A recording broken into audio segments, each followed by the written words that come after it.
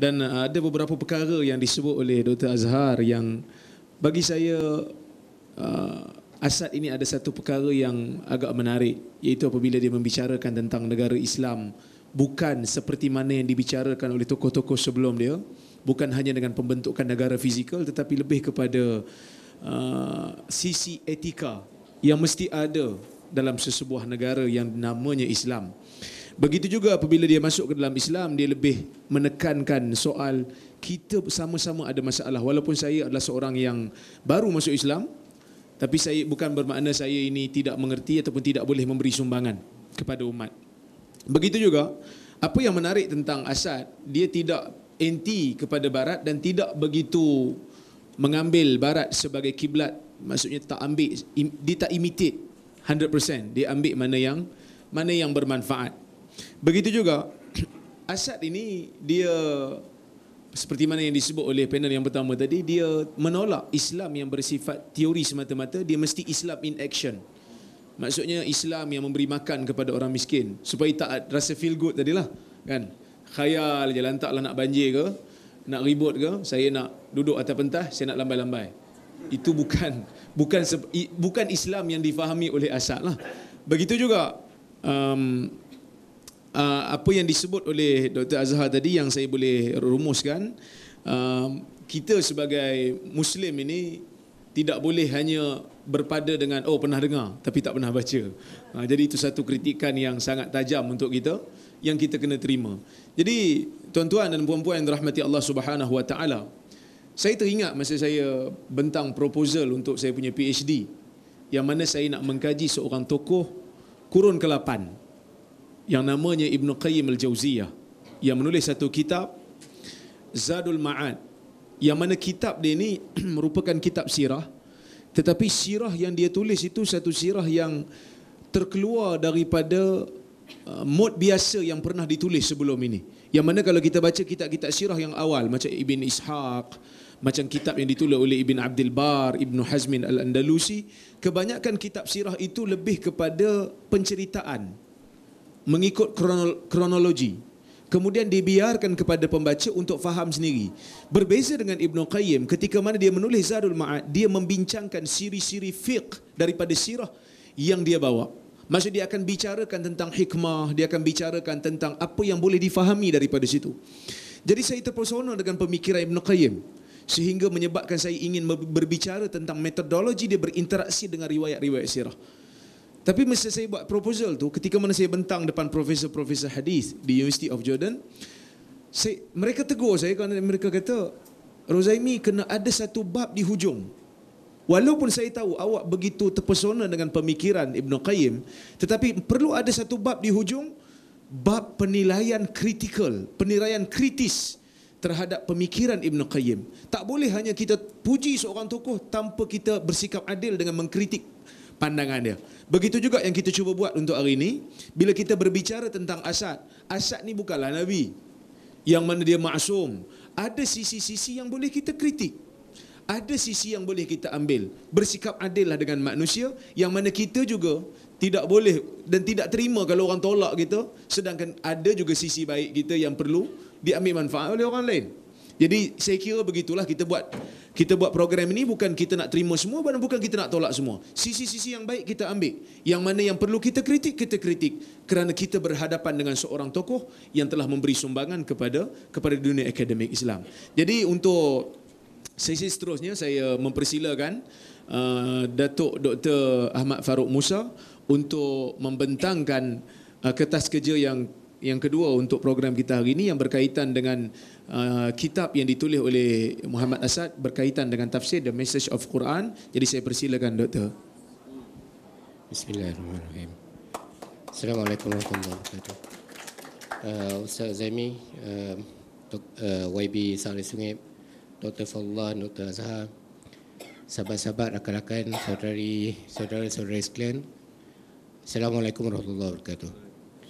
Kita pada hari ini insyaAllah saya akan membincangkan satu perkara yang mungkin Mungkin kebanyakan yang hadir di sini mungkin tak pernah dengar Iaitu tentang hermeneutics. Mungkin setengah orang tak pernah faham pun apa dia maksud hermeneutics. Mungkin pertama kali dengar. Is basically uh, kata yang banyak digunakan oleh sarjana-sarjana Eropah dan sarjana Barat ya, iaitu tentang the methodological interpretation of text ya, iaitu kaedah metodologi bagaimana sebuah teks yang maksud Barat adalah Bible dikritik ya. Jadi ini adalah kaedah bagaimana Muhammad Asad uh, mendekati uh, mendekati uh, tafsir beliau iaitu the message of the Quran yang telah pun ditunjukkan oleh uh, Dr. Azhar tadi. Ya. Pertama kali, pertama sekali saya ingin katakan bahawa uh, saya rasakan bahawa kita semua tahu bahawa Muhammad Asad sebenarnya terangkan oleh uh, YB Sa'ali Sungip tadi. Uh, pada mulanya telah pun menterjemah, menulis dan menterjemah dan mensyarahkan uh, Sahih Bukhari. Ya. Keseluruhan jilid Sahih Bukhari itu telah pun diterjemahkan dan hanya beliau sempat menerbitkan hanya satu jilid saja ya iaitu the early years of Islam sebelum meletusnya peperangan di Punjab pada ketika itu beliau menetap di Punjab ya ketika itu beliau mengembara dan menetap di Punjab pada ketika itu dan seperti mana diterangkan dalam um, uh, kalau kita baca um, in fact kalau kita baca Sahih Bukhari yang uh, the early years of Islam itu dikatakan bahawa bagaimana beliau melihat helaian-helaian uh, syarah beliau tentang Sahih Bukhari itu mengalir di atas arus sungai Ravi yang telah dibakar dan dibuangkan oleh para pemberontak pada ketika itu. Ya. Dengan erti kata yang lain, tapi beliau mengatakan, sesudah itu beliau mengatakan walaupun begitu remuk hatinya melihat uh, kitab-kitab, helaian kitab-kitabnya itu uh, mengalir bersama arus sungai Ravi, tetapi beliau percaya bahawa Allah menyediakan beliau sesuatu yang lebih besar lagi yaitu untuk menterjemah dan mentafsirkan Al-Quran di dalam bahasa Inggeris. Dan insyaAllah pada hari ini kita akan lihat kenapa tafsir yang dikatakan oleh saudara Suhaib Arumi tadi mengapakah tafsir message Al-Quran ini menjadi bagi saya is the intellectual basis of IRF. Jadi maksudnya dalam pengertian bahawa kalau orang nak tahu IRF, maka orang mestilah membaca the message of Quran. Then you will understand what's the intellectual, intellectual basis of us. Kerana intellectual basis pada kita terletak pada tafsir dia dalam the message of the Quran itu sendiri. Oleh kerana itu saya rasakan bahawa uh, insyaAllah saya akan bentangkan ini. Walaupun saya pernah bercakap tentang konsep hermeneutics ni di Fakulti Syariah UC Kebangsaan Malaysia. Saya dijemput tetapi profesor-profesor kat situ kata, uh, doktor, yang ini boleh cerita kat sini, tapi tak mungkin tak boleh cerita kat luar. Tapi insyaAllah pada hari ini saya cuba memberanikan diri untuk uh, share. Ya, the, ni. Sebenarnya Ustaz Zaimi kata tadi, kita boleh kritik, kita boleh tak terima dan sebagainya. Tapi the thing is that, you have to think. Ya, dan kita mencari apakah um, ada kebenaran di situ ataupun apakah sisi-sisi yang boleh kita uh, fikirkan ataupun debatkan semula ya saya ingin memulakan uh, sebelum saya memulakan dengan slide pertama ya boleh saya memulakan slide pertama iaitu saya ingin mengatakan bahawa this is uh, the words of uh, Professor Nasir Abu Zaid ya tentang hermeneutics tapi kita ingin ingat bahawa sekiranya kita membaca akan uh, the message of Quran dalam bahagian permulaan the message of Quran iaitu ketika prakata kepada the message of Quran. Di akhir prakata tersebut yang panjang lebar menceritakan bagaimanakah beliau menterjemahkan Al-Quran ini. Dan sebenarnya kata YB Sa'ali Sungip tadi beliau bukan seorang yang uh, kemungkinan ada mufasir yang menterjemahkan Al-Quran ataupun menafsirkan Al-Quran daripada um, uh, apa bukan asal daripada bahasa Arab. Tapi beliau menazirkan daripada bahasa Arab itu sendiri ya. Dan beliau kalau kita baca tentang pengalaman dan perjalanan hidup beliau terutama macam dalam Road to Mecca dan lain-lain, kita semua akan mengetahui bahawa beliau menghabiskan masa yang lama di padang pasir. Duduk bersama orang-orang badui untuk mempelajari perkataan-perkataan yang begitu uh, maksudnya pure eh, yang tidak dirubah. Ataupun dalam bahasa kita kata bahasa Malaysia baku, bahasa Melayu baku eh bahasa Melayu yang tidak pernah dirubah lagi bukan bahasa bahasa yang ada pada ketika ini atau ketika itu pada tahun 1900 iaitu bahasa Arab yang asal yang tidak pernah berubah ya. Dari situ dan kemudian dari situ beliau memasuki ke uh, Universiti uh, Madinah dan mempelajari hadis dan sebagainya. Jadi proses ataupun uh, kita katakan bahawa kaedah pembelajaran itu adalah kaedah yang betul ya kaedah yang betul seperti mana juga beliau telah mendekati uh, nanti saya akan mentangkan beliau mendekati uh, um, uh, Mustafa Maraghi Syekh Mustafa Maraghi yang merupakan anak murid Muhammad Abdul dan sebagainya dan dengan daripada pendekatan itulah bahawa beliau amat-amat terpengaruh dengan agenda reformis yang dibawa oleh Jamaluddin Afghani, Muhammad Abduh dan juga mereka-mereka yang lain ya yang seumpamanya. Nanti saya akan bincangkan lagi.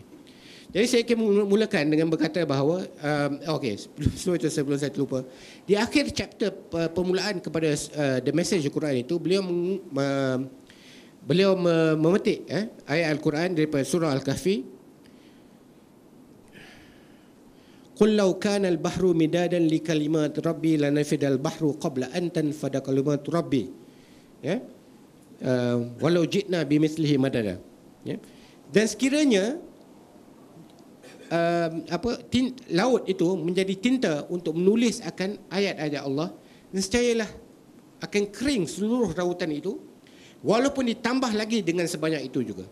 Dalam arti kata yang lain Muhammad Asab katakan bahawa terjemahan atau tafsir Al-Quran ini bukan satu eh. Bukan hanya ini saja tafsirannya. Kerana kita akan dapati nanti apabila dalam pem, dalam pem, uh, pembentangan saya nanti kita akan dapati bahawa terlalu banyak penafsiran dalam Al-Quran.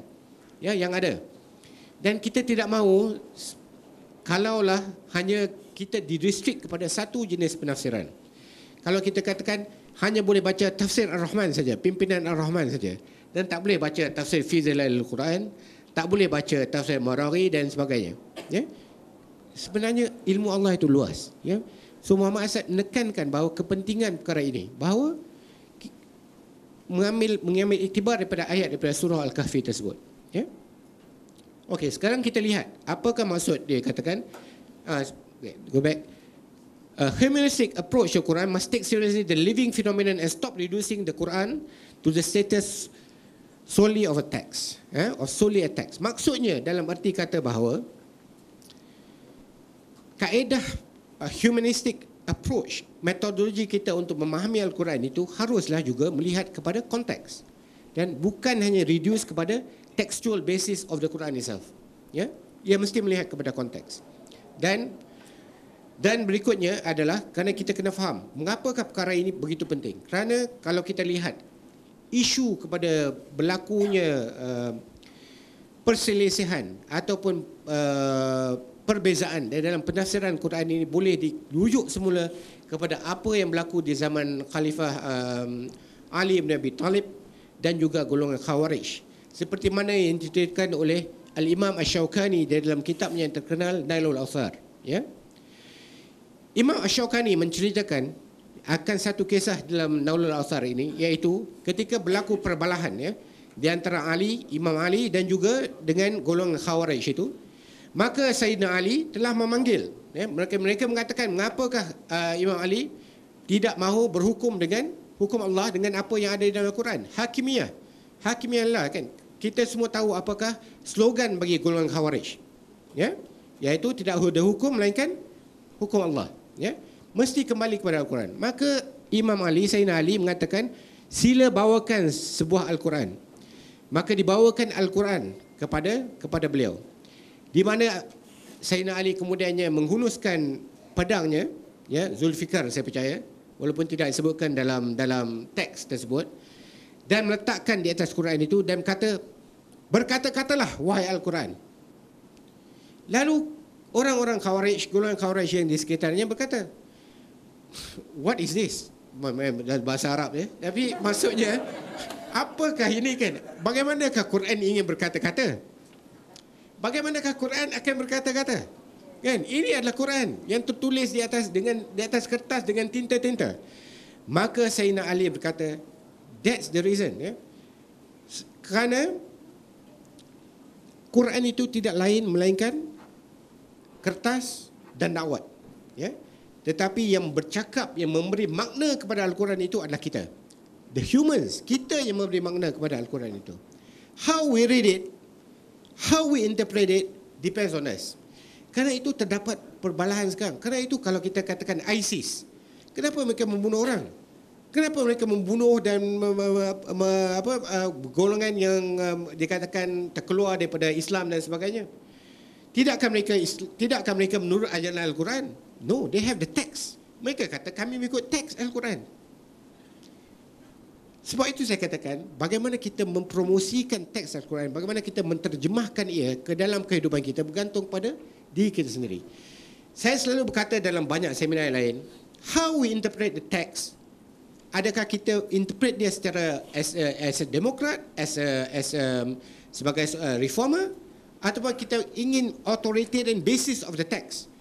Dengan sikap authoritarian kita, kita menterjemahkan teks, ataupun secara demokrat, itu bergantung kepada kepada orang yang membaca itu sendiri untuk diterjemahkan ya? Kita akan dapati juga perlawanan yang hebat yang akan saya yang akan saya bentangkan kemudian nanti tentang apa yang berlaku pada kurun-kurun yang terdahulu di mana berlaku perbalahan yang hebat tentang beberapa konsep daripada daripada al-Quran itu sendiri. Next. Inilah yang dikatakan uh, Profesor Zaid mengatakan uh, uh, Profesor Nasar Abu Zaid mengatakan bahawa karena itulah kita lihat bahawa pada masa ini inilah juga masalah yang di, dihadapi oleh kita semua pada masa ini iaitu the, vocal, the vocalization of the Quran whether in liturgy in everyday life in any social political and ethical dispute carries with it certain mode of interpretation and reinterpretation by ways of intonation and appropriation. Maksudnya, masing-masing golongan akan membawa hujah Al-Quran masing-masing. PAS akan bawa hujah Al-Quran dia mengatakan hudud mesti dilaksanakan di atas bumi Malaysia ini. Negara Islam wajib dilaksanakan di bumi Malaysia ini. Golongan daripada amanah uh, uh, YB Sa'adih Sungim akan mengatakan no. Ini bukan maqasid syariah, ini bukan tuntutan daripada syariah dan sebagainya. Berlaku akan berlaku perbalahan yang berterusan. Ya. Perkara ini adalah perkara yang akan berlaku yang kita tidak dapat elak. Next. The modern political Islamist movements, whether radical or moderate, agree on God's absolute authority in determining and stipulating the regulation of the detailed behavior of the individual as well as the laws that govern the society as whole. Memang kita tidak mengatakan bahawa sama ada dia golongan moderate ataupun dia golongan radikal, dia kata mesti seperti mana disebutkan tadi, mestilah berpegang kepada Al-Quran dia sendiri. Ya? Yeah? Tetapi um, seringkali apa yang berlaku pada zaman moden ini adalah mereka yang berkehendakkan bahawa penegakan teks ataupun penegakan hukum-hukum yang ada dalam Al-Quran itu pada ketika ini adalah diumpamakan oleh Profesor Abu Zaid seakan-akan golongan khawarij pada ketika dulu. Sorry ya, saya bukan kata nak tuduh siapa-siapa ya, tapi tapi inilah inilah maksudnya ya. Maksudnya kalau kita nak kononnya kita kena laksanakan hudud, kita kena laksanakan potong tangan dan sebagainya. Kerana itu termaktub dalam Al-Quran tanpa kita melihat konteks dan realiti yang ada pada kita ini, maka itu adalah umpama seruan golongan Khawarij pada ketika dahulu. Dan kalau kita baca tafsir Muhammad Asad, kita juga akan dapati bahawa beliau mempunyai tafsiran yang sangat-sangat panjang tentang ayat yang berkaitan dengan faktau tu ya yang tentang memotong tangan dan sebagainya ya menghuraikan bagaimana apakah perkara yang harus difahami daripada uh, daripada ayat-ayat tersebut ayat tersebut termasuk dengan dalam konteks di mana uh, Sayyidina Umar Al-Khattab telah pun um, mengangkat atau menunda ya kerana zaman kemarau yang ada pada ketika itu. Kerana ia melihat kepada konteks dan suasana yang ada pada ketika itu ya. Itu sebagai contoh Now, this political and logical manipulation can also be found in the classical era of Islam, based entirely on the explicit assertion that Quran is only a text, its manipulation continued. Dalam arti kata yang lain, oleh kerana Quran itu adalah a text, kerana itu setiap golongan dalam sejarah Islam begitu banyak kita dapati perpecahan yang berlaku di kalangan um, sek ataupun mazhab masing-masing mengatakan kerana mereka mempunyai interpretasi yang tersendiri terhadap teks tersebut. Next one. Now, this is a very important thing. The text reconstructed and manipulated. The Quran has become the site of fierce intellectual and political battle. The battle was cited at one of the most important juncture of the structure of the Quranic text. Kenapa dia menjadi medan pertempuran yang begitu hebat sekali? bagi golongan-golongan ataupun bagi sekta-sekta yang berada di dalam Islam ini. Kerana apa yang tertulis di dalam surah Ali Imran ayat ke-7 iaitu tentang adanya teks dalam Al-Quran itu yang dikatakan ayatul muhkamat ayat-ayat muhkamat dan ada yang dikatakan ayat-ayat mutasyabihat. Oleh kerana berlakunya dua perbezaan ayat-ayat muhkamat dan mutasyabihat ini maka sering kali kita akan lihat bahawa akan berlaku perbezaan dan pertentangan. Next Of course, everything goes back a millennium ago, where there was a clear conflict between two rival interpretations of the Quran. The Muqtazilah, the Muqtazilites believed that the Quran was created by God at the moment of its revelation. It therefore stands to be interpreted in terms of circumstances in which it was revealed and of God's purpose in revealing it. Semalam, yeah, in fact, pagi tadi pada pukul 3 pagi saya bangun dan saya membaca semula yeah, buku yang ditulis oleh um, uh, Al-Imam Muhammad Abu Zahra. Imam ulama besar di UC Al-Azhar. Buku ini telah saya baca mungkin dua atau tiga kali tapi saya refresh my mind sebab saya nak cakap pada hari ini. Ya. Tentang konsep yang berlaku ataupun pertempungan antara golongan Mu'tazilah dan Asy'ariyah yang berlaku pada satu ketika dahulu. Ya. Iaitu kerana kita lihat bahawa konsep yang dikatakan oleh uh, Mu'tazilah itu adalah bahawa Al-Quran itu adalah makhluk ya. Dan ianya adalah bertentangan dengan apa yang menjadi pegangan bagi bagi um, um, Asyairah dan bagi mereka yang dan uh, ataupun bagi khalifah-khalifah yang sebelum itu iaitu berpegang kepada konsep mengatakan bahawa ianya qadim ya malahan kita lihat konsep itu adalah konsep yang sangat penting yang mungkin kita pada hari ini mengatakan Mengapakah perkara yang sebegitu menjadi perbalahan yang begitu hebat sehingga Imam Ahmad bin Hanbal terkena mehnah dan sebagainya. Actually it was very important point in time in history yang berlaku pada ketika itu. Ya. Pertembungan pemikiran yang berlaku pada ketika itulah yang sangat-sangat penting. Kerana kalau kita baca sehingga habis buku uh, oleh Imam Abu Zahra Muhammad Abu Zahra, kita akan dapati bahawa di bahagian terakhir setelah beliau menceritakan tentang pertelingkahan yang berlaku ini beliau mengatakan seperti mana Imam Ahmad dan para fuqaha sangat-sangat sangat berhati-hati tentang agama Islam tentang agama maka begitulah juga golongan Mu'tazilah itu amat berhati-hati tentang agama. The reason being oleh kerana konsep mengatakan makhluk dan bukannya qadim ini adalah satu. Kerana the concept pada ketika itu kita kena ingat bahawa pada ketika itu begitu ramai golongan uh, falsafah eh, ahli falsafah daripada Yunani dan Kristian dan sebagainya yang mula menduduki um, empire Islam dan kita tahu mereka berinteraksi di dalam uh, Baitul Hikmah ya iaitu yang telah ditubuhkan oleh Harun al-Rashid dan sebagainya dan kerana itu terdapat pertemuan uh, intelektual antara mereka dan kita dapati bahawa golongan Kristian menganggap bahawa kita tahu bahawa kepercayaannya adalah Trinity. Trinity bukan bermakna ni. Trinity mana three in one eh. Three in one dalam arti kata Son, uh, the God, Son and the Holy Ghost, Holy Spirit. Dalam arti kata ketiga-tiga itu dapat hidup dalam satu dalam satu entiti yang sama. Ya. Tapi mempunyai tiga pancaran yang berbeza. apa dia? Um, tajuk buku Muhammad Muzahra ialah tentang um, uh, aliran-aliran politik dan mazhab dalam Islam. Ya.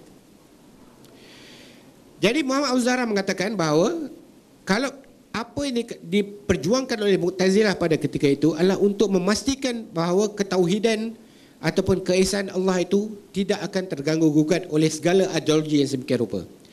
Dalam arti kata bahawa kalau sekiranya umat Islam memandang bahawa al-Islam itu qadim, al-Quran itu qadim, maka dalam arti kata bahawa al-Quran itu adalah di sebalik bersama dengan Allah ya. Keduanya qadim. Jadi al-Quran itu ada bersama dengan Allah.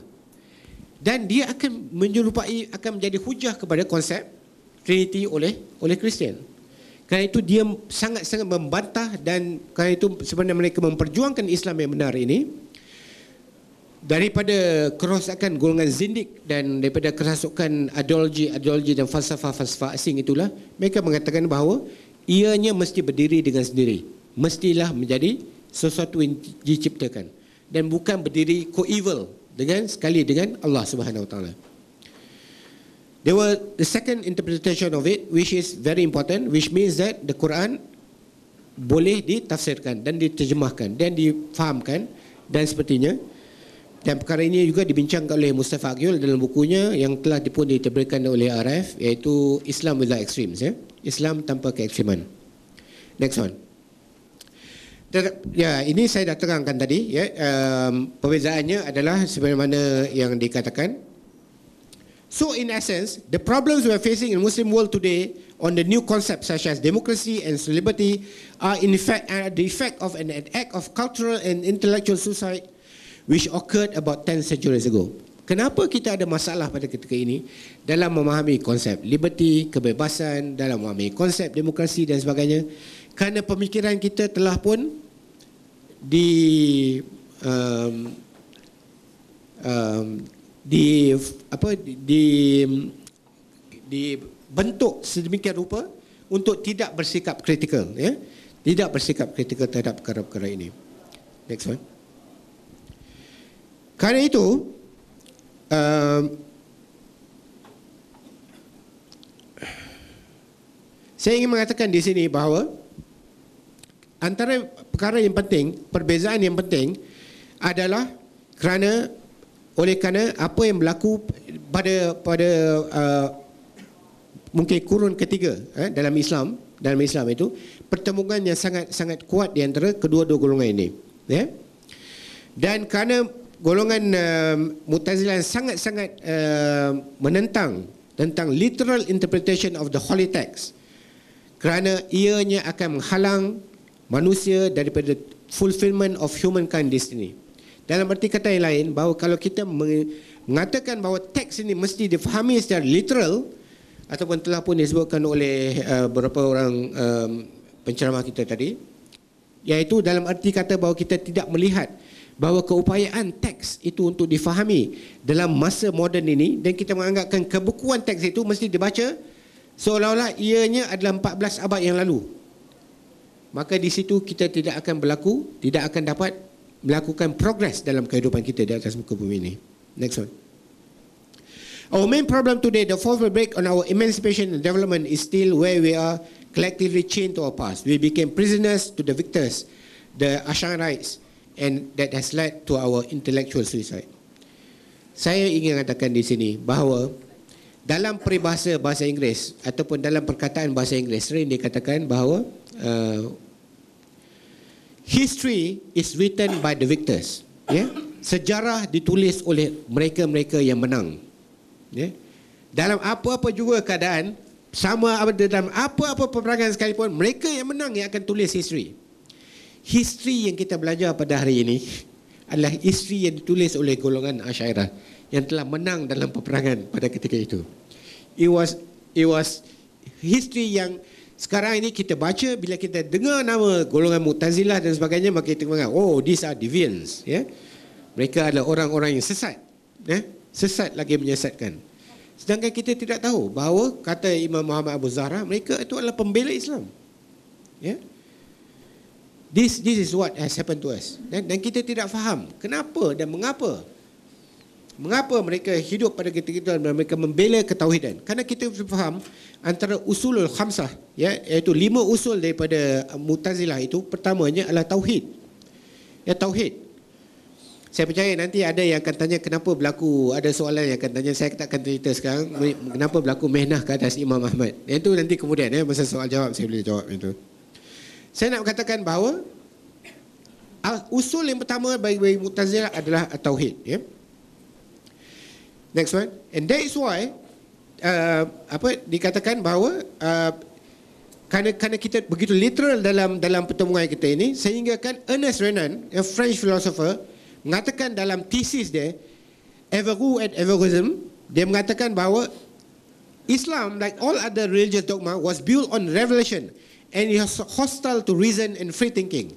Hence, it might be necessary to neglect and even abandon Islam if the Muslim world was to make progress, any progress towards towards catching them with modernity. Dalam arti kata yang lain, Everwu mengatakan, Nadi siapa, Renan mengatakan bahawa oleh kerana Islam ni seperti mana dogma Christianity dan sebagainya, kita lihat bahawa seakan-akan bahawa Eropah tidak akan membangun dengan renaissance-nya tanpa mereka uh, ada penentangan terhadap gereja ya bagi bagi Renan maka orang Islam juga mestilah ada penentangan terhadap apa yang tertulis dalam teks Al-Quran.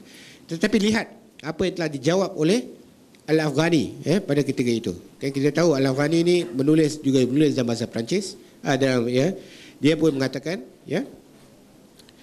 Dia dan Muhammad Abduh mengatakan bahawa Al-Ghani dan Muhammad Abduh mengatakan bahawa the backwardness of Muslims was not due to Islam per se but due to but to the contemporary Muslims misunderstanding of Islam.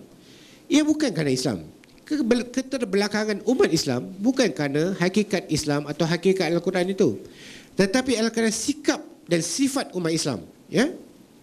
They both argue, kedua-duanya berhujah bahawa if Islam is understood properly and explained correctly, as was the case in golden age of the Islamic civilization, iaitu pada era Mu'tazilah itu, Muslims would not have been easily defeated and dominated by European power. Kalaulah sebenarnya Islam itu difahami, ya, seperti mana pada era golongan Harun al-Rashid dan sebagainya, maka sudah pasti Islam Islam akan berkembang. Seperti mana kita tahu bahawa civilization Islamic civilization bagi mereka yang baca, membaca dan mengkaji Islamic civilization akan mendapati bahawa kita melakukan lebih banyak progres jauh daripada barat pada ketika itu. If you look in time. Tapi sekarang kita amat ketinggalan. Ya? Karena pada ketika itu mereka golongan Mu'tazilah berpandangan bahawa an ink of a scholar is mightier than a sword of a warrior. Dakwat daripada seorang ulama itu adalah lebih mightier, lebih berkuasa daripada perang seorang pejuang. Kerana itu mereka sangat-sangat mementingkan mementingkan ilmu pengetahuan. Sangat-sangat mementingkan uh, progres dan kemajuan.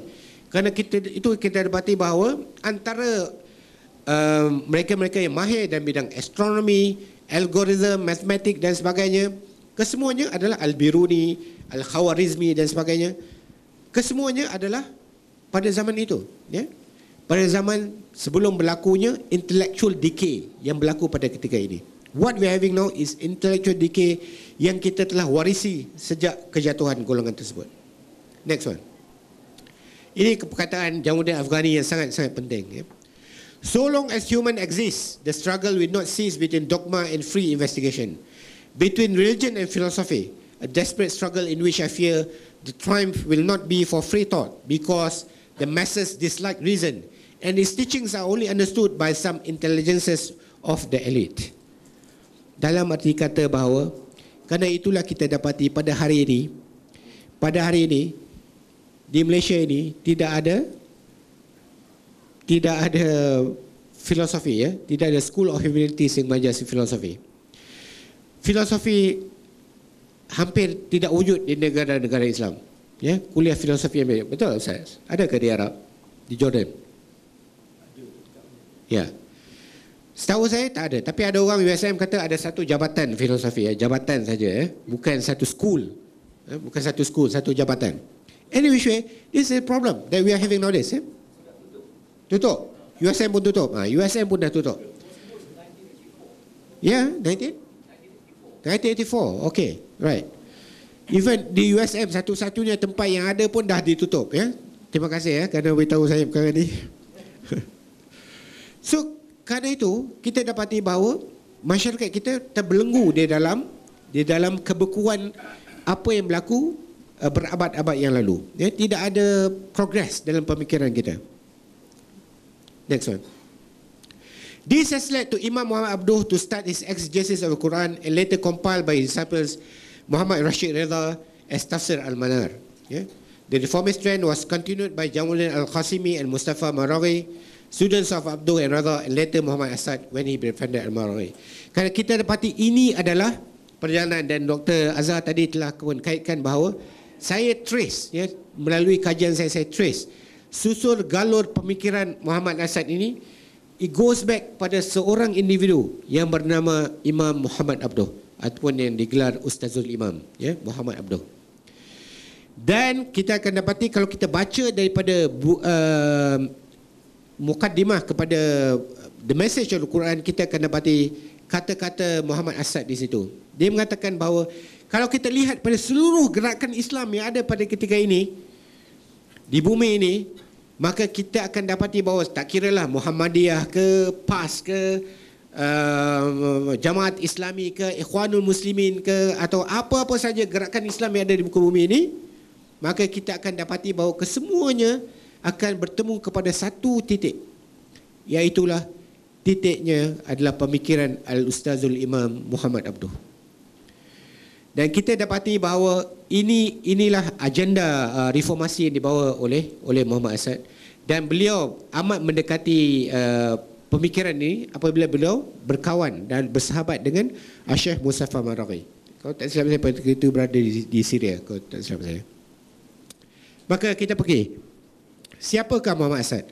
Tadi Dr. Azhar pun dah cerita, Dr. Fatullah Wilmot pun dah cerita uh, YB Sa'ari Sungit pun dah cerita sedikit sebanyak tentang siapa itu Muhammad Asad. Eh? Secara ringkas, secara ringkasnya saya mengatakan bahawa sebenarnya kita tahu bahawa dia adalah dilahirkan dalam keluarga Yahudi di sebuah kota Polish ya, yang nama uh, Lviv. Pada dahulunya di bawah Empire Austria. Tapi kalau kita trace pada ketika ini di 20, 21st century, dia berada di daerah Ukraine. Ya, Ukraine. Had a truly checkered life spanning three continents three continent, two cultures, continent Eropa, continent Africa dan continent Asia. A writer, adventurer, diplomat, Muslim thinker par excellence, translator of Quran. He spent 17 years writing his magnum opus, The Message of Quran. 17 tahun. 17 tahun untuk menulis The Message of the Quran. IRF mengambil masa hampir 7 tahun untuk menerjemahkannya dan sekarang kita tinggal dua surah saja lagi untuk complete the entire 30 surah iaitu surah Al-Baqarah dan surah Al-An'am. Dan insyaAllah kita akan cuba selesaikan sebelum tahun ini. Sebelum akhir tahun ini. He dedicated the message to the people to people who think the importance of using one own, one's own faculty to understand divine text, a fact emphasized in the Quran itself, was a theme Asad returned to again and again. Dalam arti kata yang lain bahawa Muhammad Asad mengatakan bahawa Al-Quran ini ditujukan kepada mereka-mereka untuk golongan yang berfikir. Ya? Bukannya bukannya seperti mana yang yang kita selalu dengar kita hanya perlu baca dan mengimani tanpa perlu berfikir apa-apa tentang teks al-Quran itu sendiri next Muslims were obligated to understand their faith as best as they could could use their own God-given faculties before seeking help to enlarge their understanding to Muhammad Asad every Muslim ought to be able to say the Quran has been revealed to me dalam arti kata yang lain bahawa Muhammad Asad berkata bahawa kita bila kita membaca Al-Quran kita menganggap bahawa Allah sedang berbicara dengan kita. Yeah? It is a direct between us and God apabila kita membaca Al-Quran itu sendiri. Ya. Kita mesti menganggap perkara-perkara seperti itu ataupun dalam perkataan Said Qutub, ya. Well, saya sebut sikit Said Qutub sebab Dr. Azhar ada sebut Said Qutub, ya. Ataupun dalam perkataan Said Qutub, dia kata para sahabat membaca Al-Quran itu umpama askar yang menanti menunggu perintah apakah perintah daripada Allah itu kata-kata saya kutub ya yang kalau kita baca dalam bukunya Ma'alim fit Tariq ya katakan jadi Muhammad saya kata it must be we must feel that is directed to us ya bukan kepada orang lain hence no virtue in blind imitation and the Quran was read later category denounced it kerana itu tidak ada guna untuk orang bertaklid buta ini Dr. Zaimi Mahir ya, dalam bidang bidang bab taklid ni ya? Kerana Al-Quran mengatakan, ya, dalam Quran mengatakan dalam surah Al-Isra ayat 36 mengatakan la takhfu ma laysa laka bihi ilmun inna sama wal basara wal fuada kullu ulaika anhu mas'ula. Ya. Jangan kamu ikut sesuatu yang kamu tiada pengetahuan tentangnya. Sesungguhnya pendengaran, penglihatan dan hati-hati kamu akan dipertanggungjawabkan terhadap segala sesuatu. Dalam arti kata yang lain, kita kena tahu apakah yang kita lakukan. Kalau kita ingin melakukan ibadat, kita mesti tahu bahawa adakah ibadah ini daripada sunnah Rasul ataupun bukan. Ataupun yang direka-reka oleh para, para kiai, eh? para kiai dan para ustaz dan sebagainya. Kerana ianya di, telah pun dilakukan oleh uh, turun temurun dan sebagainya. Dia buat nisfu Syakban dan sebagainya. Kita kena tanya. Yeah? We have to ask. Ada perkara ini adakah merupakan satu tradisi daripada Islam ataupun bukan? Next one. The message, uh, yeah. Okay, the message was dedicated to people who think, as Asad has clearly pointed out in the explanation of verse, verses 31 to 33 of Surah Al-Baqarah, that the virtue of man's ability to think conceptually, man is superior in this aspect, even to angels. Look, this is probably the most important slide that you have to understand, and this is probably the take-home message. Hari ini kita membicarakan tentang uh, buku yang terkenal eh, uh, yang ditulis oleh uh, Muhammad Asad iaitu Islam at the Crossroads. Saya ingin mengatakan dalam kehidupan kita, dalam kehidupan kita sering kali kita telah baca mungkin beratus atau ribuan buku, ya. Tetapi ada buku yang akan change our life. Yang akan mengubah hidup kita dan mengubah cara paradigm pemikiran kita. Ya. Maka saya mengatakan bahawa buku yang mengubah paradigm world world uh, saya punya world view ya ataupun yang diterjemahkan oleh Dr. Nabil Amir IRF sebagai pandangan sarwa ya dia sebut sebagai pandangan sarwa so saya pun gunalah perkataan tu yang mengubah pandangan sarwa world view saya adalah buku Islam at the Crossroad ini ia yang buku yang kecil eh, yang nipis dia tidak memerlukan buku yang tebal untuk change your your life and your your you know your whole world view dan sebagainya. Kalau kita baca sejarah Muhammad Asad, kita akan dapati bahawa apakah menyebabkan Muhammad Asad tiba-tiba terbuka hatinya untuk memeluk Islam. Muhammad Asad menceritakan bahawa pada satu ketika saya ambil masa sedikit, eh, uh, Dr. Azhar. Muhammad Asad menceritakan satu ketika beliau bersama isterinya Elsa, ya, yeah, berada di dalam sebuah train eh, di Jerman eh ketika itu yang satu lagi bahasa yang boleh di di ini adalah bahasa Jerman eh uh, Syekh sorry, sorry. berada di dalam train ya yeah? dan bila dia duduk di situ maka dia melihat uh, lelaki di hadapannya dengan pakaian yang kemas dengan pakaian kot dan, dan pakaian sangat kemas dan dengan dengan apa dengan uh, keadaan yang sangat-sangat uh, menunjukkan kemewahan ya yang sangat you know very affluent kind of person. Tetapi bila diperhatikan pada wajahnya terdapat sesuatu yang yang seakan-akan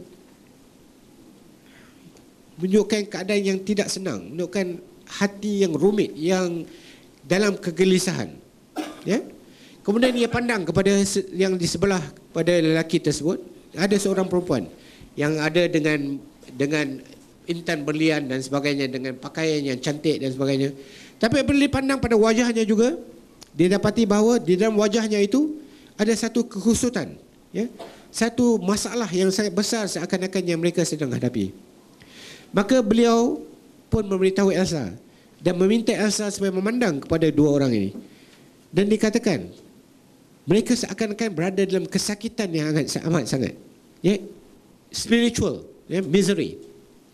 Maka Esther mengatakan, ya, dia pun melihat seperti itu juga pada wajah-wajah yang terpampang pada dua individu tersebut. Muhammad Asad balik ke rumahnya pada petang itu. Dan kemudian beliau, tengok di atas mejanya, kebetulan pada masa itu mereka beliau sedang membaca Al-Quran. Sedang membaca Al-Quran. Dan pada ketika itu beliau melihat apa yang terbuka dalam Al-Quran itu adalah ayat Al-Hakumut Takasur. Ya. Apabila beliau melihat perkataan Al-Hakumut Takasur hatta zurtumul maqabir maka beliau menganggap bahawa itulah sebenarnya apa yang cuba digambarkan apa yang telah pun tergambar pada wajah-wajah manusia yang beliau lihat tadi dan pada ketika itu beliau meminta Esra untuk membaca dan melihat sendiri bahawa inilah sebenarnya penjelasan apa yang beliau dapati bahawa apa yang beliau lihat tadi merupakan kemungkinan merupakan petunjuk daripada Allah kepada beliau dan mereka maka hati beliau terbuka untuk menerima Islam. Itu adalah pengalaman Muhammad Asad.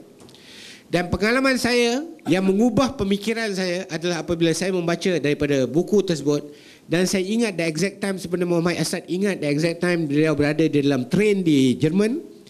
Saya juga ingat the exact time when I was somewhere in Seremban in a hotel with uh, Mufti pada masa itu Dr. Asri belum mufti lagi pada masa itu masih merupakan seorang pensyarah di UC Science Malaysia. We were waiting for uh, talk ya pada ceramah yang akan disampaikan oleh Ustaz Asri kepada uh, Mahat uh, Itiba Sunnah di Kuala Pilah yang ceramah disampaikan pada waktu malam oleh kerana kita sampai siang maka saya menghabiskan masa siang itu dengan baca dengan baca buku uh, Islam at Crossroads. Maka saya dapati dalam chapter tentang education eh, yang ustaz seorang saya sangat minat tentang education. Tentang education, maka beliau menuliskan tentang ayat-ayat ini yaitu ayat daripada surah Al-Baqarah ini wa 'allamal adama asma'a kullaha dan he has imparted unto Adam Allah telah imparted mengajar kepada Adam asma'a kullaha nama segala sesuatu dan penerangan Muhammad Asad pada ketika itu was the thing that to me was yang menyelesaikan segala kekusutan pemikiran saya ya yeah? because as a man of science, saya senantiasa I have a lot of questions. Ya. Saya senantiasa bertanya kepada diri saya sendiri soalan-soalan yang mungkin sukar untuk ditanya. Ya. Sampai satu ketika saya ingat masa muda saya dikatakan seorang uh, doktor yang senior, much much senior me mengatakan, I think one day you'll be an atheist. yang mengatakan bahawa saya mungkin akan jadi ateis kerana saya ini seorang yang sangat kritikal ya sangat kritikal dalam banyak hal jadi mereka sangka saya jadi ateis tapi alhamdulillah sampai sekarang saya tak jadi ateis lagi apa yang saya ingin katakan bahawa ayat itu bagi saya bila Muhammad Asad menceritakan dalam dalam uh, Islam as crossroad Islam di persimpangan jalan ini bahawa dalam erti kata the conceptual thinking akibat daripada ability to think conceptually itu Adam mengatasi segala sentinel beings mengatasi daripada para malaikat. Sehingga ayat-ayat berikutnya mengatakan bahawa Allah meminta para malaikat sujud kepada Adam adalah kerana kelebihan his ability to think conceptually and to me this is so important kerana dalam erti kata bahawa dalam kehidupan kita apa yang penting adalah our ability to think what is the best. Ya, dalam hal-hal yang tidak ada nas dan ketentuan daripada syarak. Iaitu apabila dalam hal yang tidak ada hubung kaitnya dengan ibadah dan sebagainya di mana tidak ada petunjuk daripada Quran ataupun hadis yang sahih tentang bagaimanakah kita lakukan umpamanya dalam hal-hal ekonomi. Bagaimanakah cara kita melaksanakan ekonomi yang paling baik ataupun cara politik ataupun kenegaraan ataupun segala-segala urusan kesihatan, perubatan dan sebagainya, maka kesemuanya mestilah menggunakan our intellectual capabilities untuk mencari terjemahan yang terbaik yang ada pada pada kita. So it goes throughout time. Dalam masa apa sekalipun bukan hanya pada zaman Mu'tazilah tetapi juga pada zaman sekarang maka kita mestilah berupaya untuk mencapai ke tahap yang sedemikian rupa. Dalam arti kata bahawa uh, saya rasa saya tak ingat siapa Dr. Azhar ke ke uh, uh, Sa'ri Sungit uh, YB Sa'ri Sungit yang mengatakan tadi bahawa yang penting yang penting yang kita dapati sekarang yang kita lihat sekarang ini orang heboh berkata tentang oh ini ekonomi Islam ya? Oh ini perubatan Islam. Apa perubatan Islam? Jampi serapah lah.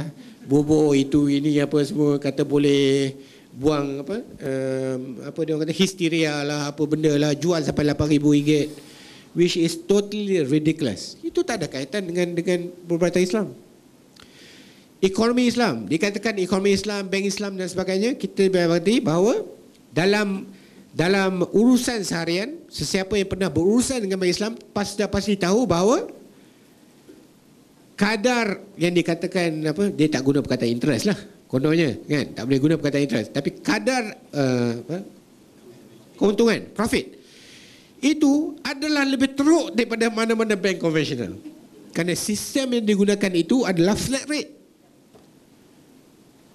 kalau nak cakap pasal bank Islam ni masa masa pusat panjang ya saya akan mula cerita sebab sahabat saya seorang uh, pakar dan seorang head of department of finance di UC Islam Antarabangsa dan yang dah tulis berbanyak banyak buku tentang masalah ini.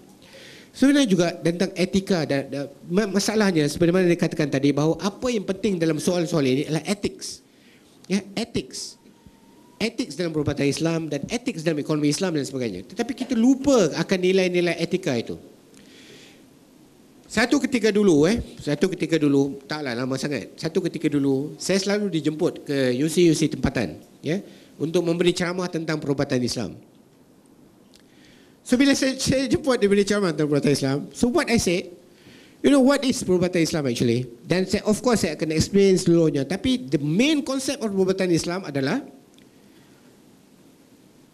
Islam adalah evidence-based medicine perubatan yang berdasarkan evidence, berdasarkan bukti. Macam mana Dr. apa uh, Rozaimi selalu sebut. Kalau you nak kata sesuatu oh ini berdasar kita kena beramal seperti ini, mesti ada nas daripada hadis yang sahih. Kalau kita ambil hadis yang maudhu atau hadis yang dhaif dan katakan ini sebab kita akan berurusan atau melakukan suatu perkara itu Dr. Zaimi tidak akan terima. Saya kata, betul tak Dr. Zaimi? Ya. Begitulah juga dalam sains dalam Islam ianya mesti ada evidence. Must be based on evidence. It is evidence based medicine. Of course then i elaborated dan sebagainya. Dalam arti kata yang lain bahawa sesuatu yang tidak ada evidence tidak boleh dikatakan sebagai perubatan Islam. Sesuatu zampi serapah dan sebagainya yang tidak ada evidence kita tak boleh golongkan dia dalam dalam perubatan Islam. Perubatan Islam ada perubatan berdasarkan evidence. Dalam arti kata yang lain bahawa kita telah melakukan kajian dan mendapati ini kesiannya. Ya? yeah? Contohnya kalau kita buat laparoscopic cholecystectomy buangkan apa pundi empedu dengan cara baru iaitu cara dengan pakai endoskop ya tak ada lagi belah besar-besar belah yang kecil dia 2 cm kita telah pun melakukan dan lihat apakah kesan? Apakah kadar komplikasi? Apakah uh, uh, kebaikan dari segi healing dan sebagainya? So it must be based on evidence. Baru kita boleh mengatakan itu adalah perubatan Islam It is not a, a trend yang lain daripada apa yang kita pelajari. Kita dapati bahawa ulama-ulama dahulu tidak pun mengatakan oh ini ini matematik Islam. Sekarang ni ada orang katakan matematik Islam. Eh? Saya merasa hairan. Matematik boleh jadi matematik Islam. Ya? Tak tahu. Betul eh? Ya, ya, ada yang mengatakan matematik matematik Islam. Ada English Islam. English Islam. Betul. Itu lagi teruk eh. But this is the thing that I want to say. Next one, please. Okay. Uh, yeah. So the names are a symbolic expression for the power of defining terms, the power to articulate thinking, which is peculiar to human being, and which enables him, in the words of Quran, to be God's on earth. Kerana ability inilah, our ability for conceptual thinking, berfikir secara conceptual ini, membolehkan kita menjadi khalifah Allah di atas muka bumi ini. Ya. Kerana itu uh, apa kita baca selalu ayat Quran surah Al-Baqarah kan? Ya. Uh, tentang bagaimana Allah akan melantik khalifah di atas muka bumi ini iaitu iaitu manusia. Next one. So every Quranic verse or statement is directed to reason and therefore must be comprehensible, conforming to its reformist agenda. The message is coherent translation that brings into sharp focus a particular modernist discourse on Quran. Kerana itulah agenda tafsir Muhammad Asad. Dan kerana IRF, agenda IRF adalah agenda reformis, maka kita mempelopori akan supaya orang membaca tafsir Muhammad Asad ini. Next one. So let's go to the basic topic. Eh. Dah 50 minit. Eh. Saya minta maaf. Eh. Okay, okay. I'll try to be brief. So now kita pergi pada core apa yang dimaksudkan oleh oleh oleh Muhammad Asad tentang hermeneutik sendiri. Ayat Al-Quran eh, daripada surah Ar-Rahman eh, ayat 15 Bismillahirrahmanirrahim Ar-Rahman Allama Al-Quran Qalaqal insan Allamahul bayan yeah. The most gracious has imparted this Quran unto men He has created men allamahul bayan and he has imparted unto him articulate thought and speech. So kata Muhammad Asad, apa konsep al-bayan ini? The term al-bayan applies to both thought and speech as it comprises the faculty of making an idea apparent to the mind and conceptually different from other ideas, as well as the power to express its cognition in spoken or written language. Dalam arti kata yang lain bahawa al-bayan ini bukan hanya berkata-kata tetapi juga berfikir dan berkata-kata dan mem- membolehkan membuat sesuatu idea itu to become apparent untuk menghasilkan idea yang baik. Eh? Inilah konsep al-bayan yang kena okay. Next one. So the entire hermeneutical approach of Muhammad Asad lies in the assertion that every Quranic statement is directed to man's reason and must therefore be comprehensible either in its literal sense or allegorically. In interpreting the Quran, Asad asserted that apart from linguistic consideration, he tried to observe consistently two important uh, rules of interpretation. Dalam arti kata lain, bahawa akal mestilah berupaya untuk memahami apa yang terkandung di dalam Al-Quran itu. Tetapi ada dua prinsip utama yang disebutkan oleh Muhammad Asad. Ya? Dalam hermeneutik Muhammad Asad ini, iaitu pertamanya, His basic approach to the interpretation is grounded in belief that all Quranic injunctions and exhortations ataupun uh, message message etikanya should be viewed together as an exposition of an ethical doctrine in which each verse and sentence has an intimate bearing on other verses and sentences, all of them clarifying and amplifying one another. Dalam arti kata yang lain, kalau kita yang pernah membaca uh, tafsir Muhammad Asad, kita akan dapati dua footnotesnya, cross reference ya. Dia akan menceritakan okey, maknanya sebenarnya refer juz sekian-sekian dan tafsiran sekian, ayat sekian-sekian ataupun refer kepada tafsiran sekian-sekian pada muka surat sekian-sekian. It's always ada cross reference, ya. Inilah yang dikatakan oleh sebagai mufassir sebagai tafsirul Quran bil Quran, ya. Tafsir Al-Quran itu dengan Al-Quran itu sendiri. So whenever this rule is faithfully followed, we realize that the Quran in the words of Muhammad Abduh is own best commentary. Dalam arti kata yang lain, Quran itulah yang menterjemah Al-Quran sendiri. Ini kata-kata daripada Imam Muhammad Abduh. Apa dah yang keduanya? Yang keduanya, dia mengatakan bahawa no part of the Quran should be viewed through from a purely historical point of view. The Quran provides general principles that are presented for summoning and directing purposes. This means, for instances, that its reference to historical circumstances and events should not be taken literally in constituting a factual record, but as being illustration of the human condition. So saya tulis kat itu contohnya asabul udud. Banyak contoh-contoh dalam Al-Quran yang di kalau kita baca the message Quran kita akan dapati bahawa Muhammad Asad tidak mementingkan tentang the actual historical fact perkara itu berlaku. Tetapi apakah message yang dapat diterima daripada daripada perkara yang cuba di, yang telah disampaikan oleh Allah Subhanahu Taala itu. Saya mengatakan saya mengambil contoh Ashabul Ukhdud eh, sebab uh, kita sering baca dan mereka yang baca Ma'alim fi Tariq uh, oleh uh, Syekh Qutub sudah pasti membaca dalam bab yang terakhir daripada Ma'alim fi Tariq adalah tentang huraian uh, Syekh Qutub di dalam tafsirnya fi Zilalil Quran. Ya. Yeah? Syekh Qutub menceritakan bahawa dan mengambil contoh bahawa ini adalah perkara yang berlaku uh, di Yaman eh, pada satu ketika dahulu. Tetapi Muhammad Asad menganggap bahawa the way atau the actual benda yang berlaku itu tidak penting. Ya. Dia ada perkara uh, apa-apa yang diceritakan dalam surah Al-Buruj ya.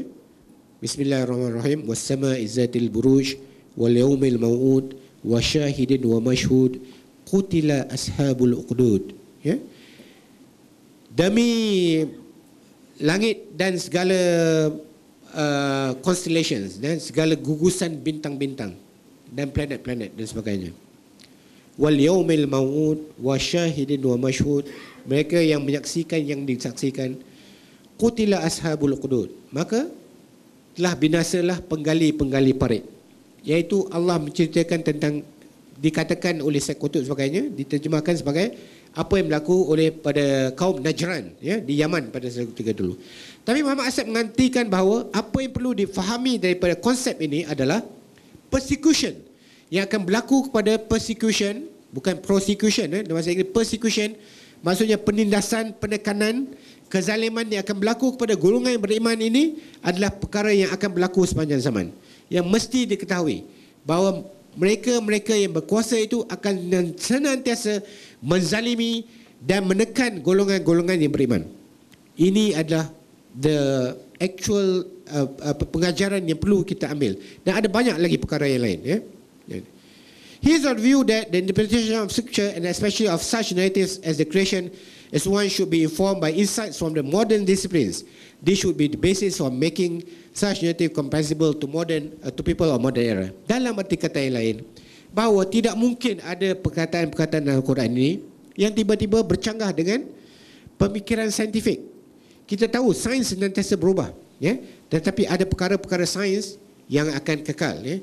Umpama perkara yang telah pun dibuktikan secara qat'i maaf ya Ustaz Rami saya guna perkataan qat'i yang telah dibuktikan secara qat'i adalah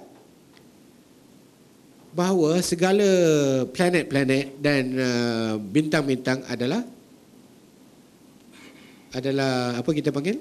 Uh, berbentuk sphere eh? it's a sphere ya?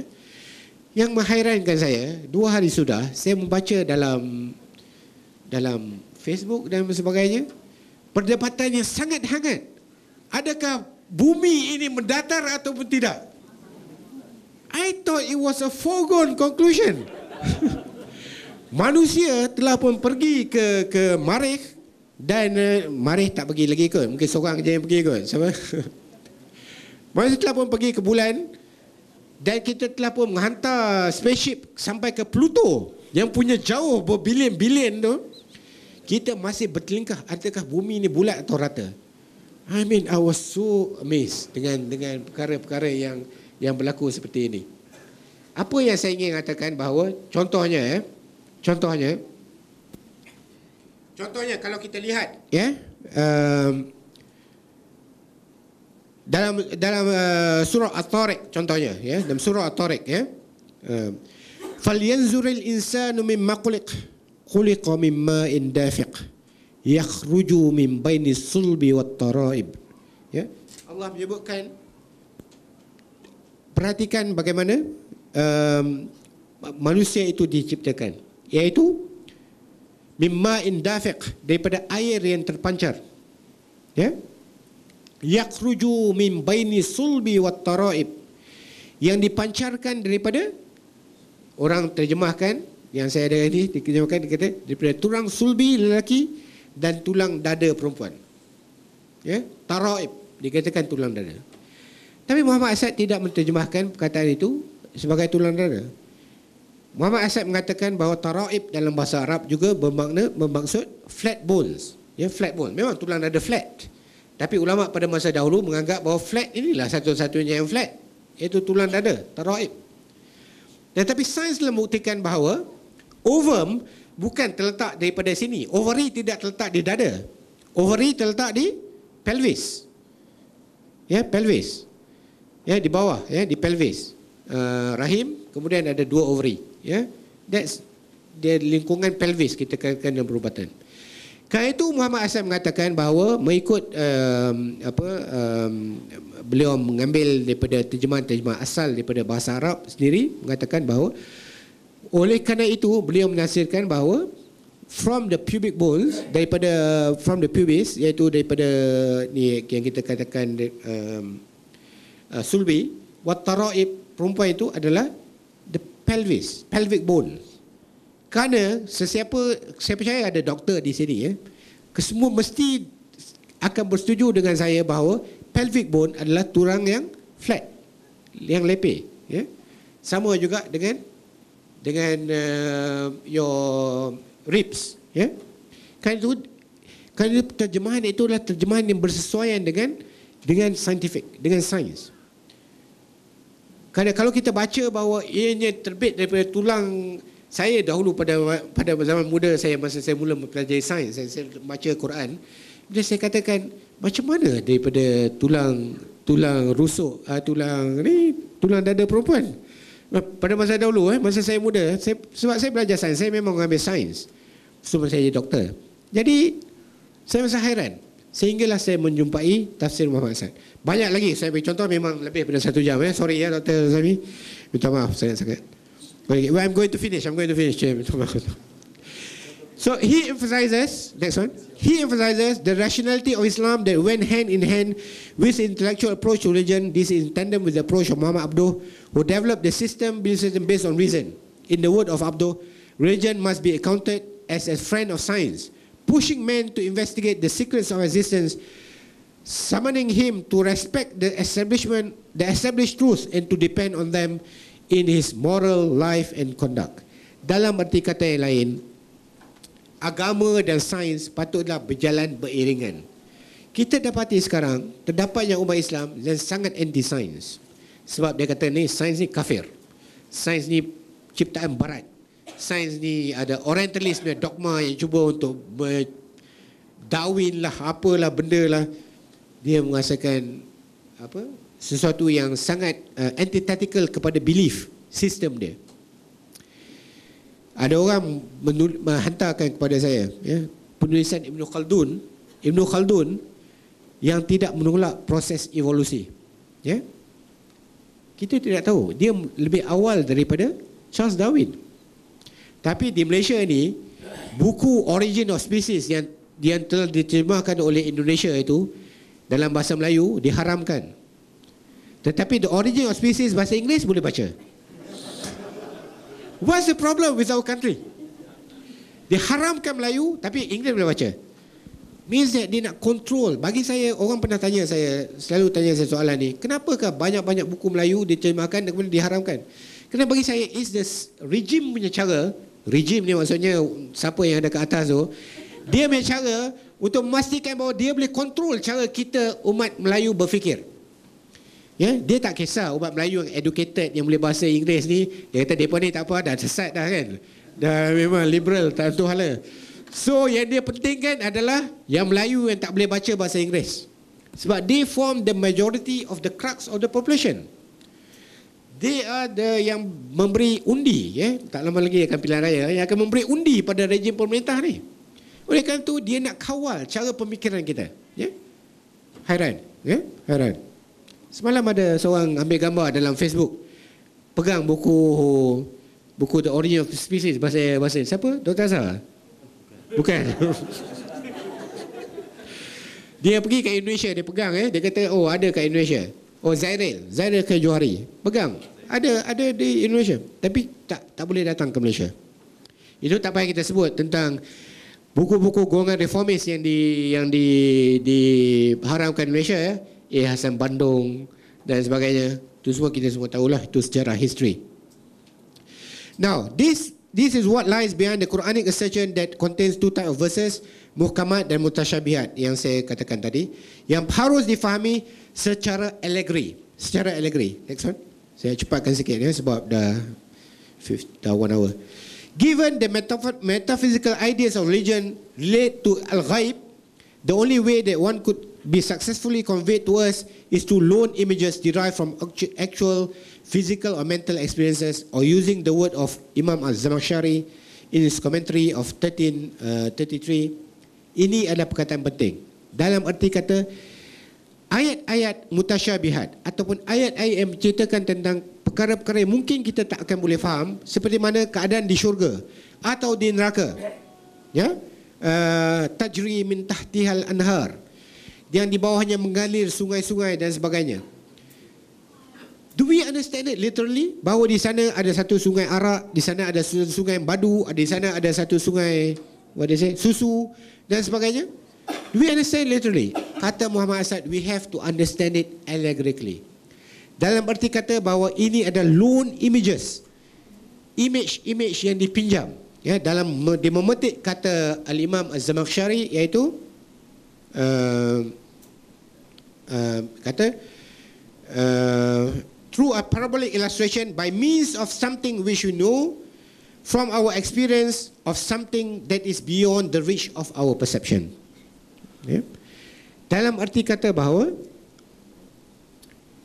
sesuatu parabolic illustration dalam arti kata bahawa bagaimana Allah mengilham atau menyatakan kepada kita keseronokan ataupun keindahan kehidupan di syurga. Kehidupan syurgawi. Iaitu menceritakan tentang aliran sungai-sungai. Kerana kalau kita, these are the images kepada kita di muka bumi ini. Iaitu terutama mereka yang uh, apa kalau kita berada di tepi sungai dan sebagainya, kalau kita mendengar air yang mengalir atau melihat air mengalir di atas batu-batu di atas sungai itu dan bunyi percikan-percikan air, all this bring a sense of uh, ketenangan kepada jiwa kita. Ya. Yeah? This these are parabolic images, lone images yang cuba disampaikan kepada kita. Kerana kita tidak dapat membayangkan dia secara literal, kerana itu kita mesti membayangkan dia secara allegorical. Ya. Dalam perkataan uh, Imam Az-Zamakhsyari dikatakan tamsilan lima ghaba anna bima nusyahid. Ya, iaitu yang saya katakan di sini through a palpable illustration by means of something which we know from our experience of something that is beyond the reach of our perception. Suatu yang tidak dapat kita capai dengan persepsi kita. Okay. Asad's interpretation uh, of ghaib adalah uh, there is metaphysical. Dia bukan dia bukan hendak menerangkan tentang okey ini keadaan hari kiamat dan sebagainya. No. Tapi perkara-perkara yang allegorical to comprehend those passages of the Quran that are expressed in allegorical language about the human condition tentang masalah manusia. Okay next one. The Quran tells clearly that many of its passages and expressions must be understood in an allegorical sense for the simple reason that being intended for human understanding, they could not have been conveyed to, any, in, to us in any other way. It follows, therefore, that if you were to take every Quranic passage, statement, or expression in its outward literal sense and disregard the possibility of it being an allegory, a metaphor, or parable, we would be offending against the very spirit of the divine word. Dalam arti kata lain, bahawa ayat-ayat allegory, allegory ini, ayat-ayat mutasyabihat ini tidak harus dianggap sebagai literal interpretation. Ya, mesti dianggap sebagai ayat-ayat allegory. Ya, ayat-ayat yang ada uh, bayangan yang lain di sebaliknya. Okay, conclusion, I'm finishing. In his tafsir, Asad has not made literal translation of Quran, rather he presented the spirit of Quran. Asad mencuba untuk menafsirkan ruh daripada Al-Quran itu sendiri. For Asad, myths and allegories in the Quran serve the prototypical function of presenting inspiring uh, models. Therefore, while mythic settings to believers represent an account of actual world to him, they are simply symbols that serve the metaphorical function. Ini saya telah huraikan tadi. I won't, I won't go further. Asad to me is a representative of Islam's humanistic and rationalistic trend that would, uh, that would stand strong irrespective of time and space. Every generation faces different circumstances and thus many laws and ways for society cannot be fixed for all time. This is why also the Quran only fixes, fixes timeless ethics, rights and restrictions that are universal in implication. It is a constitution containing the basis for mankind's dealing. Dalam arti kata yang lain, tidak mungkin oleh kerana kita akan senantiasa berubah. Ya? Manusia pada zaman dulu tak akan terfikir bahawa kita boleh menghantar spaceship ke Pluto. Ya? zaman akan sentiasa berubah. Peningkatan pengetahuan kita akan sentiasa berubah. Kerana itu tidak mungkin tidak mungkin bahawa Al-Quran oleh kerana itu akan apa uh, menetapkan sesuatu yang begitu rigid kecuali dalam bidang akidah dan ibadah. Ya. Selain daripada itu dalam perihal kehidupan manusia apa yang dipentingkan adalah timeless ethics. Ethics itu yang saya katakan tadi yang paling penting yang perlu ditekankan.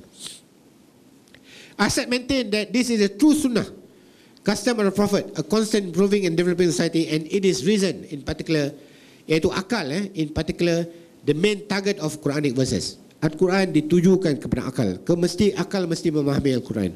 Pointed out in countless Quranic statement and admonitions, time and again raised by Asad, as the proper way that may lead us to a cognition of what is true and hence to faith. Dalam arti kata yang lain, untuk sampai kepada keimanan, maka kita mesti memahami maka kita mesti menggunakan akal kerana itu saya mendapati kesukaran yang amat sangat apabila ada orang yang berkata bahawa iman hanya perlu dengar dan iman kita tak perlu berfikir apa-apa I have problem with that I have problem with that statement sebab bagi saya ia memerlukan kita punya uh, intellectual uh, arguments untuk menerima sesuatu itu sebagai asas keyakinan dalam kehidupan kita. Dan kerana itulah kita mesti menggunakan akal fikiran kita. Last one. The whole of Islamic uh, the whole of the Islamic doctrine tells us and it was says Asad think and Your reason will guide you to your faith instead of assuring us, or as some other religions do, gain faith. And through your faith, you will arrive at the comprehension of truth. Dalam erti kata bahawa kita mestilah berfikir and dengan pemikiran dan dengan akal kita itulah yang akan membawa kita kepada keimanan dan keyakinan yang sebenar-benarnya. Assalamualaikum warahmatullahi wabarakatuh.